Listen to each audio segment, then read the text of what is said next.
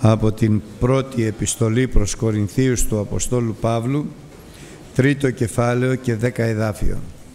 Σελής 1009, γάμα κεφάλαιο και δέκα εδάφιο.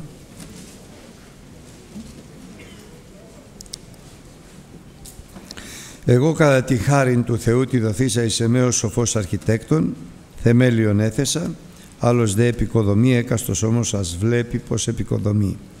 Διότι θεμέλιον άλλον ουδείς δύναται να θέσει παρά το τεθέν, το οποίο είναι ο Ιησούς Χριστός. Εάν δε της επικοδομεί επί το θεμέλιον του το χρυσόν άργυρον λίθους τιμίους, ξύλα χόρτων καλάμιν, εκάστου το έργον θέλει φανερωθεί, διότι η μέρα θέλει φανερώσει αυτό, επειδή διαπυρός ανακαλύπτεται και το πυρ θέλει δοκιμάσει το έργο εκάστου οποίον είναι. Εάν το έργο τεινός το οποίο εποκοδόμησε μένει, θέλει λάβει μισθόν. Εάν το έργο τεινός κατακαεί, θέλει ζημιωθεί, αυτός όμως θέλει σωθεί πλην ούτως ως διαπυρός. Και πάμε και στη σελίδα 1076, ε, συγγνώμη, στη σελίδα 1034, σελίς 1034, είναι από την επιστολή του Αποστόλου προς Εφεσίους, Β κεφάλαιο και 19 εδάφιο. Β 19. Άρα λοιπόν δεν είστε πλέον ξένοι και πάρικοι, αλλά συμπολίτε των Αγίων και οικοί του Θεού. Επικοδομηθέντες επί το θεμέλιον των Αποστόλων και Προφητών, όντως ακρογωνιαίου λίθου αυτού του Ιησού Χριστού, εν το οποίο πάσα η οικοδομή συναρμολογούμενη αυξάνεται εις ναόν Άγιον εν Κυρίω, εν το οποίο και εσείς συνοικοδομήστε εις κατοικητήριον του Θεού δια του Πνεύματος. Αμήν. Ο Απόστολος Παύλος λοιπόν στέλνοντας την επιστολή του προς Κορινθίους καθώς έχουν εγερθεί πολλά και σοβαρά προβλήματα μέσα στην Εκκλησία των Κορινθίων αναφέρει με θα έλεγα απόλυτα καθαρό τρόπο ότι ο χριστιανός μπορεί να ζει χριστιανικά αλλά με φρόνημα Πνεύματος Αγίου να έχει δηλαδή πνευματική ζωή αλλά μπορεί να ζει χριστιανικά και να περπατάει κατά τη σάρκα και να, έχει, και να είναι σαρκικός και να έχει ζωή γήινη, ανθρώπινη έξω από το Πνεύμα το Άγιο. Και αυτό είναι πάρα πολύ εύκολο να συμβεί, μα πάρα πολύ εύκολο να συμβεί όταν ο άνθρωπος αμεριμνά, είναι αμέριμνος, στηρίζεται στο ότι αναγεννήθηκε, στηρίζεται στο ότι βαφτίστηκε ενίδατη, στηρίζεται ότι τον βάφτισε ο Χριστός με Πνεύμα Άγιο, ακόμη στηρίζεται γιατί ο Θεός του έδωσε χαρίσματα και μάλιστα στην Εκκλησία των Κορινθίων ο Απόστολος Παύλος αναγνωρίζει ότι έχουν πλουτίσει κατά πάντα λόγο και πάσα γνώση Θεού είναι δηλαδή μέσα στην απόλυτα υγιένουσα διδασκαλία και επιπλέον η μαρτυρία του Χριστού έχει στηριχθεί εν δυνάμει ανάμεσά τους ώστε έχουν και καρπό πολύ αλλά και τέλος και κανένα χάρισμα του Πνεύματος του Αγίου δεν λείπει από την Εκκλησία όμως αυτό δεν σημαίνει ότι ο Θεός είναι μαζί τους, ο Θεός τους ευλογεί και ότι πράγματι φυλάτουν τις εντολές Του και πράττουν τα αρεστά ενώπιον του Κυρίου ώστε να έχουν παρησία στην παρουσία του Θεού. Αντιθέτως μάλιστα ο Απόστολος Παύλος αποστέλλοντας την επιστολή του προς όλη την Εκκλησία και αυτό είναι το θαυμαστό της Κορίνθου λέγει εγώ αδελφοί δεν μπόρεσα να λαλήσω προς εσάς ως προς πνευματικούς αλλά ως προς σαρκικούς. Ως προς νήπια εν Χριστώ μπόρεσα να μιλήσω προς εσάς. Γιατί γάλα σας επότισα και όχι στερεά τροφή γιατί δεν μπορείτε ακόμη να δεχθείτε αλλά ούτε και θέλετε ούτε και μπορείτε να δεχθείτε τη στερεά τροφή. Γιατί; Γιατί απασχολείστε με πράγματα, απασχολείτε τη σκέψη σας, τη λογική σας, τη ζωή σας με πράγματα που είναι διχόνοιες, φθόνος, έρης, με αποτέλεσμα όλη η χάρη του Θεού που είναι απάνω σας, όλα τα δώρα και οι ευλογίες του Θεού που είναι επάνω σας να δημιουργούν ένα αποτέλεσμα ενώ θα έπρεπε απόλυτα ευλογημένο και πνευματικό ένα αποτέλεσμα τραγικά σαρκικό επειδή εσείς δεν φροντίζετε να στέκεστε εκεί και έτσι όπως ο Θεός σας θέλει και εξηγεί ακόμη περισσότερο για την Εκκλησία τότε των Κορινθίων αλλά και για μας σήμερα ότι ο Απόστολος Παύλος έκαμε αυτό που έπρεπε. Σαν σοφός αρχιτέκτον έθεσε μπροστά και ενώπιον της Εκκλησίας των Κορινθίων θεμέλιον μοναδικό που δεν μπορεί να υπάρξει άλλο και είναι ο Ιησούς Χριστός αλλά από εδώ και πέρα καθένας από σας που όπως εξηγεί ακόμη περισσότερο στην επιστολή προς Εφεσίους καθένας από σας που δεν είναι πια ξένος στο Θεό ούτε πάρικος δηλαδή πολίτης χωρίς εξουσία στη βασιλεία των ουρανών αλλά Καθένας από σας είναι οικείος του Θεού τον οποίον ο Θεός οικοδόμησε επάνω στα θεμέλια των Αποστόλων και των Προφητών ιδιαιτέρως δε στον ακρογωνιαίο λίθο που είναι ο Ιησούς Χριστός ώστε όλη η οικοδομή συναρμολογουμένη και τι θα πει συναρμολογώ συνδέω διάφορα εξαρτήματα για να κάνω ένα ενιαίο και λειτουργικό σύνολο που έχει κάποιο σκοπό να υπηρετήσει. Συναρμολογώ ένα όπλο για να κάνω πόλεμο. Συναρμολογώ ένα αεροπλάνο για να πετάξω. Όλα αυτά αποτελούνται από πολλά μα πάρα πολλά εξαρτήματα και υλικά.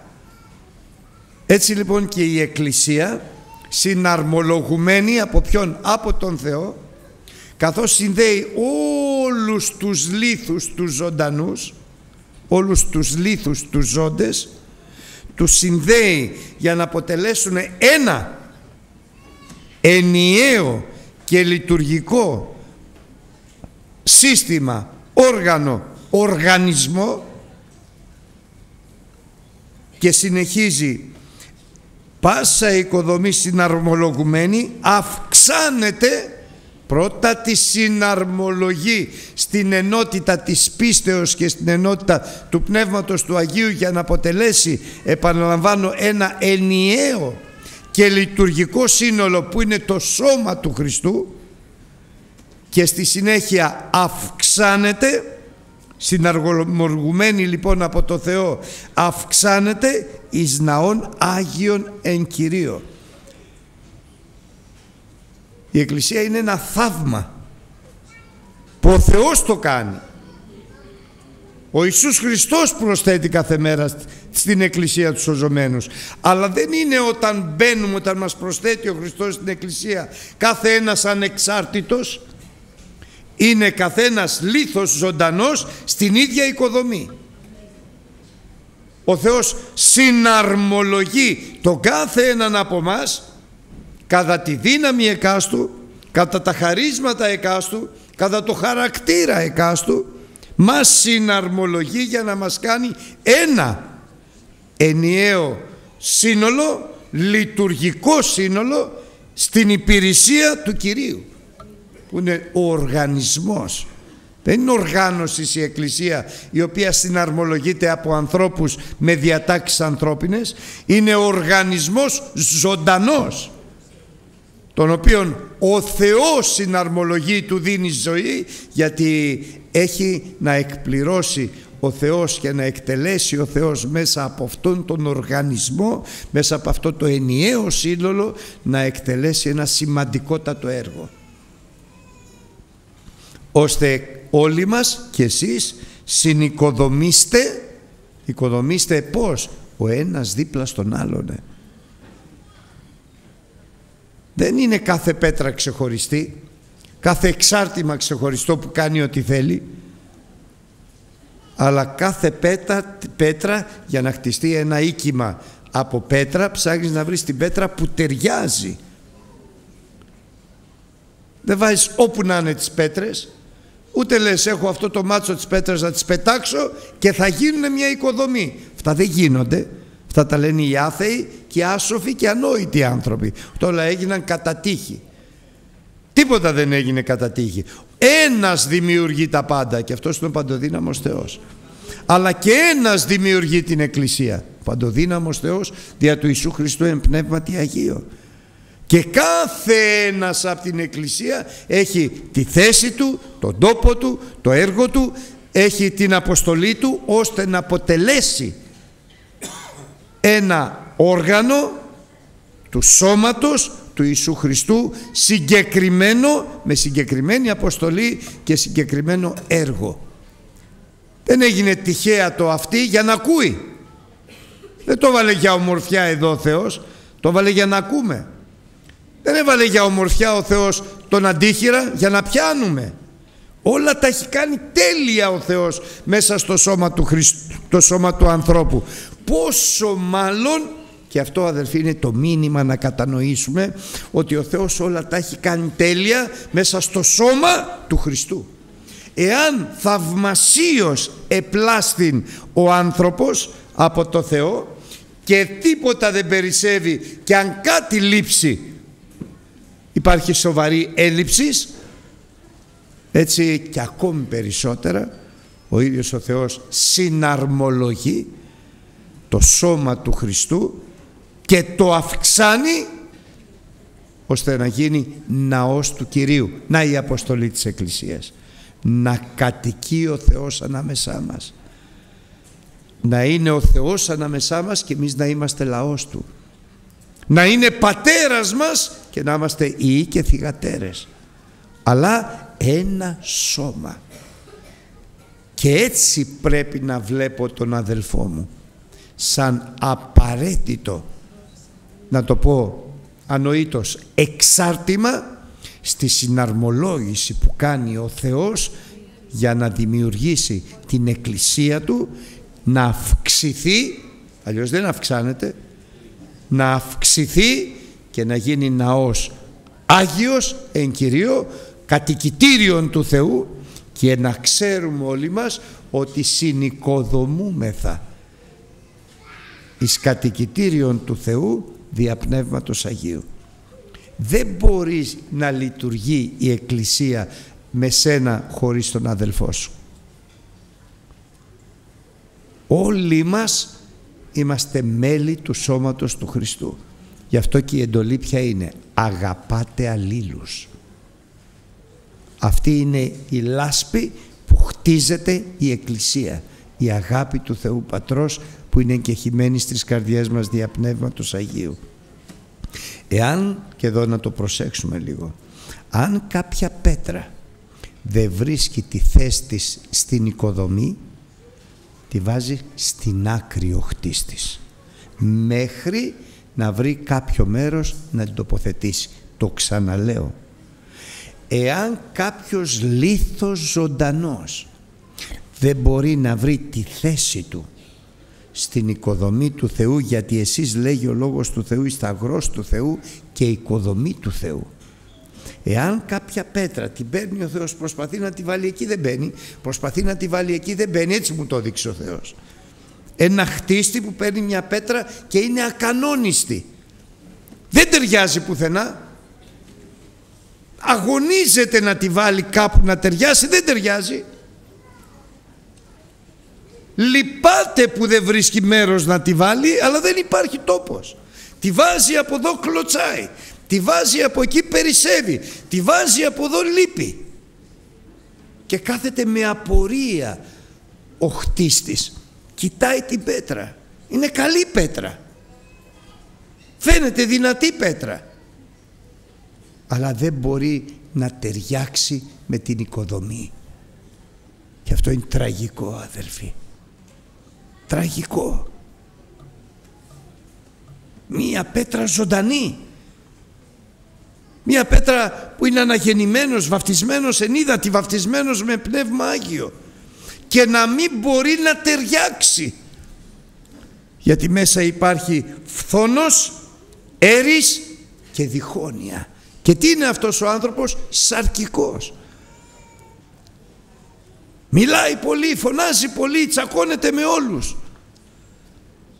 Δεν τα βρίσκει ούτε με τον εαυτό του.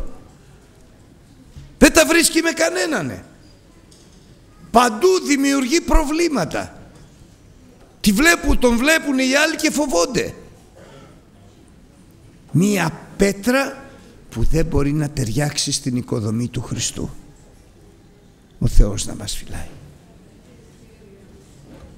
Γι' αυτό και τι λέει ο Απόστολος Παύλος. Εγώ έθεσα ως σοφός αρχιτέκτον θεμέλιον το οποίο δεν μπορεί να είναι άλλο παρά το τεθέν αυτό το οποίο έθεσα και είναι ο Ιησούς Χριστός. Από εκεί και πέρα όμως κάθε ένας πάνω σε αυτό το θεμέλιο που οικοδομείται πρέπει να εξετάζει και τον εαυτό του πώς οικοδομεί. Πώς οικοδομεί. Και μάλιστα να εξετάζει τα υλικά με τα οποία οικοδομεί. Άρα ο Θεός είναι χτίστης αλλά και εγώ είμαι χτίστης. Και εσύ είσαι χτίστης. Ο Θεός οικοδομεί, οικοδομεί τέλεια αλλά θέλει και εσύ να οικοδομήσεις οικοδομή τέλεια. Να έχεις έργο. Όχι έργο σάρκος αλλά έργο Πνεύματος Αγίου. Να προσέχει πως οικοδομεί γιατί όποιος οικοδομεί με χρυσό με άργυρο και με λίθους πολιτήμους καλόν έργον οικοδομή. Δεν είναι αμέριμνος, προνοεί γιατί ξέρει ότι το έργο του καθενός που συνοικοδομείται μέσα στην Εκκλησία εν τέλει θα δοκιμαστεί. Και θα δοκιμαστεί με φωτιά. Ποιο είναι το έργο σου; Θα υπάρξει ημέρα υπονηρά. Θα υπάρξει να το πω πιο σωστά, η μέρα η αρμόδιος. Που ο Θεός τα έχει κάνει όλα, τα έχει ετοιμάσει όλα και τώρα λέει έλα να δοκιμάσω το έργο σου, τη ζωή σου. Τι εργάστηκες, τι οικοδόμησες, τι έφτιαξες. Έλα Υπάρχει άνθρωπος που οικοδομεί όμως με ξύλα, με χόρτα και με καλάμια. Και οι δυο οικοδομούνε. Και οι δυο εργάζονται. Και οι δυο προσεύχονται. Και οι δυο κηρύττουνε. Και οι δυο προφητεύουνε. Και οι δυο κοπιάζουνε. Και οι δυο υπηρετούνε. Αλλά και τον δύο το έργο θα δοκιμαστεί την αρμόδιο ημέρα από τη φωτιά. Και δεν είναι η αρμόδιος ημέρα η αρπαγή της Εκκλησίας. Όχι, γιατί λέει ούτως θα σωθεί ως διαπυρός. Είναι πριν. Δεν είναι το βήμα του Χριστού που θα ανταμυφθεί έκαστος. Όχι. Είναι πριν. Πότε πριν. Τώρα. Και μία φορά είναι η αρμόδιος ημέρα. Όχι. Μία απέτυχα θα με ξαναδοκιμάσει. Ο Θεός θέλει να πάω καλά όπως δίνει κάποιος άνθρωπος. Μία φορά εξετάζει δεύτερη φορά τρίτη. Περνάει στο τέλος. Βέβαια καλό είναι να περνάμε με την πρώτη. Να είμαστε καλοί μαθητές Ιησού Χριστού. Αλλά θα έρθει η αρμόδιος ημέρα. Και Εάν έχεις οικοδομήσει, όποιος έχει οικοδομήσει με χρυσάφι, με ασίμι και με λίθους πολιτήμους, το έργο του θα γίνει πιο καθαρό μέσα από τη δοκιμασία με τη φωτιά. Πιο όμορφο, πιο λαμπερό. Όσο πιο πολύ δοκιμάζεται, τόσο πιο πολύ καθαρίζεται. Μάλιστα το καλύτερο χρυσάφι είναι το χρυσάφι το δεδοκιμασμένο διαπυρός. Το καλύτερο σήμη που φεύγει κάθε ξένη πρόσμιξη είναι αυτό το οποίο δοκιμάζεται, λιώνει και μένει καθαρό. Οι λύθοι πολύτιμοι το ίδιο. Δεν έχουν προσμίξεις, δεν έχουν βρώμες απάνω ούτε μέσα ούτε έξω. Αλλά αυτός που οικοδόμησε με χόρτα, με ξύλα και με καλάμι σε μια στιγμή θα δει όλο τον κόπο του, όλη την προσπάθειά του, όλο το έργο του καμένο, καταστρεμένο, κατεστρεμένο. Δεν θα έχει μείνει τίποτα.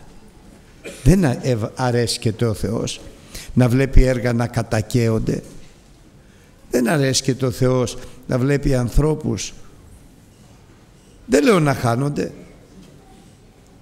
να καταστρέφονται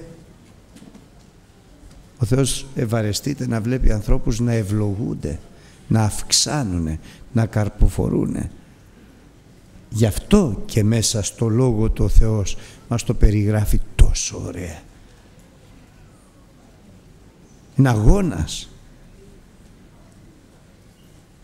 Είναι αγώνας.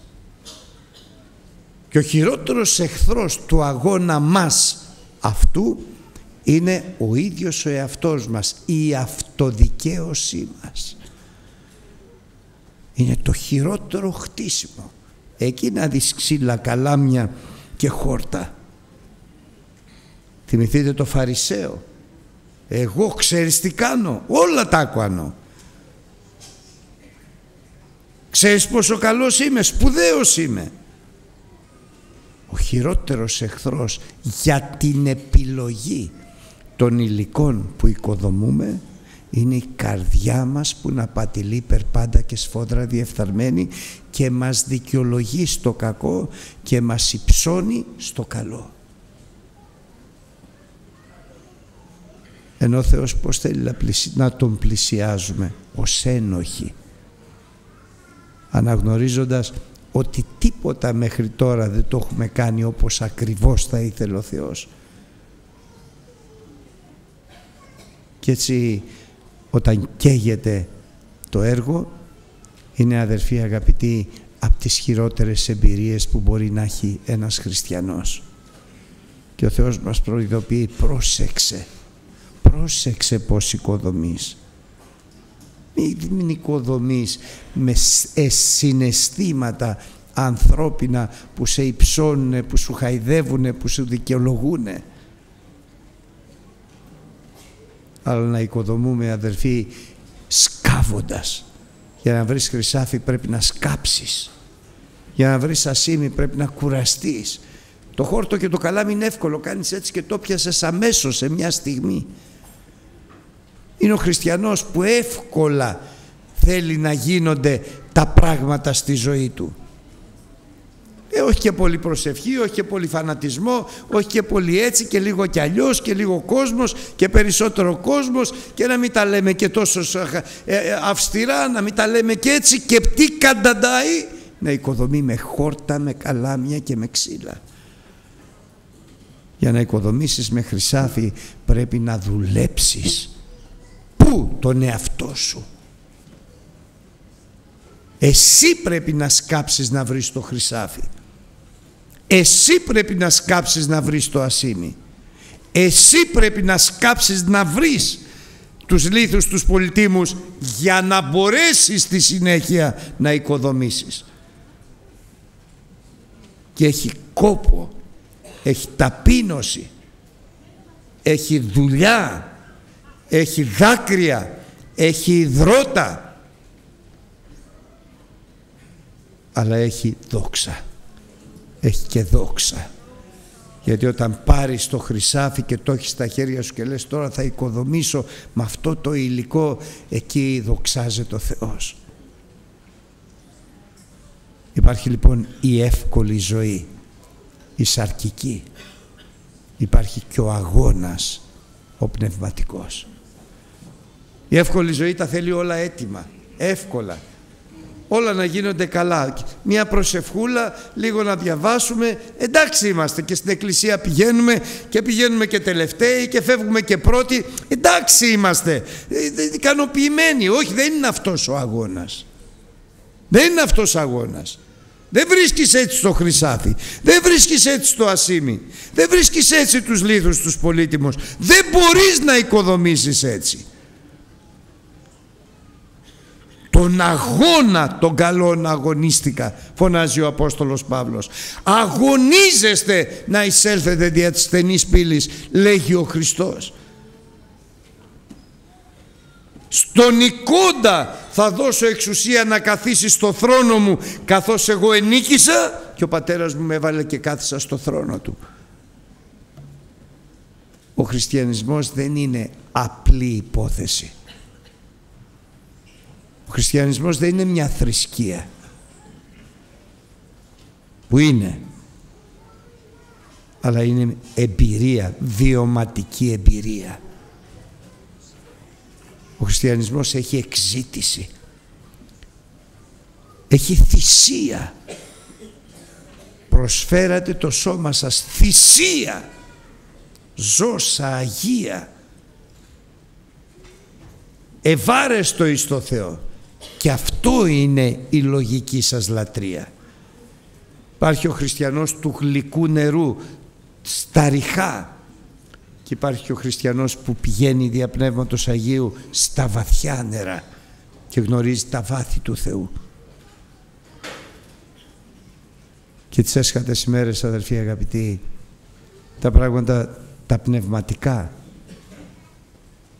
που έχουν άμεση σχέση με τα εκκλησιαστικά σας βεβαιώνω ότι θα γίνονται πιο δύσκολα. Και η δυσκολία δεν θα έγκυται στις δύσκολες καταστάσεις. Η δυσκολία θα έγκυται στις καρδιές των ανθρώπων, στις καρδιές μας. Γι' αυτό και ο Απόστολος και ο Λόγος του Θεού λέγει «Με τα πάσης φυλάξεως φύλαξε την καρδιά σου παιδί μου» με τα πάσης φυλάξεως. Μην την αφήσεις να σε οδηγεί με τις επιθυμίες της στην ακρογιαλιά. Αλλά οδήγησέ τη εσύ με τη δύναμη του Πνεύματος του Αγίου στα βαθιά νερά, στα βάθη του Θεού. Μπες μέσα.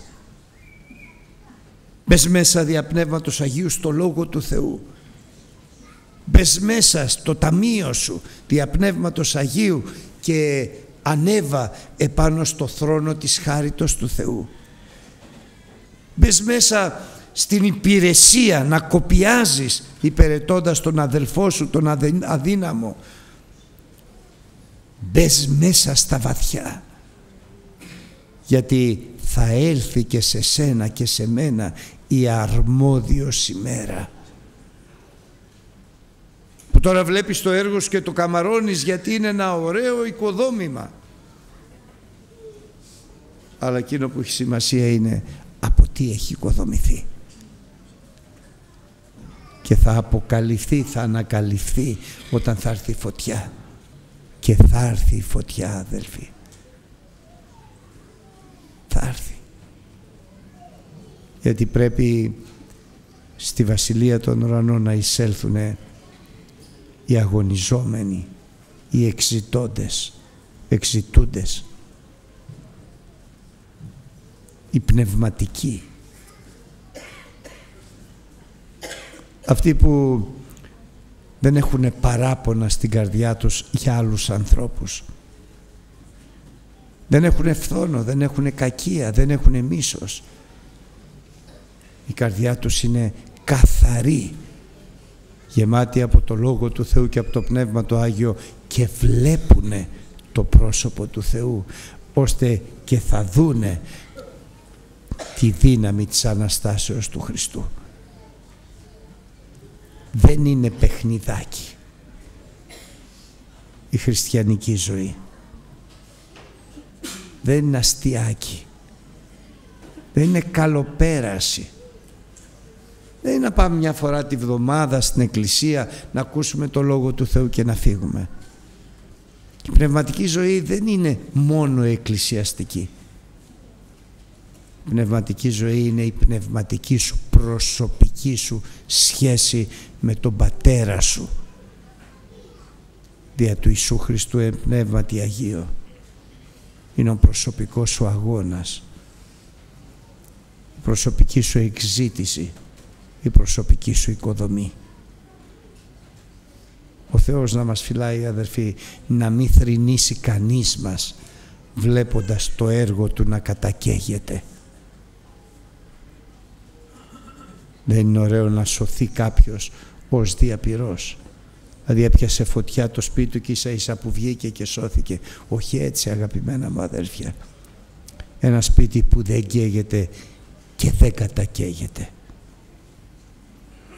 Ένα σπίτι μέσα στην παρουσία του Θεού, μια οικοδομή μέσα στη δόξα του Θεού. Προσωπική οικοδομή. Ο Θεός να μας φυλάει και ο Θεός να μας βοηθήσει να βρούμε, να ξέρουμε ποια είναι αυτά τα υλικά που μας λέει ο Λόγος του Θεού χρυσάφι, ασήμι και λίθι πολύτιμη δεν είναι κάτι το αόριστο ποτέ δεν, δεν λέγει αερολογίες ο Λόγος του Θεού. Αλλά είναι συγκεκριμένη η ζωή του χριστιανού, ο αγώνας του χριστιανού. Να βρούμε χάρη από το Θεό. Να τα καταφέρουμε αδερφοί. Να βρούμε χάρη από το Θεό. Να μας φανερώνει να μας οδηγεί και να μας δίνει δύναμη με το Πνεύμα Του το Άγιο για να βαδίζουμε αξίως της προσκλήσεως με την οποία, για την οποία και στην οποία προσεκλήθημεν. Αξίως του Κυρίου αξίως του Ευαγγελίου αξίως της Βασιλείας των Ουρανών. Όχι παιχνιδάκια αλλά αγώνας. Ο Θεός να μας βοηθάει. Ο Θεός να μας βοηθήσει για να ζούμε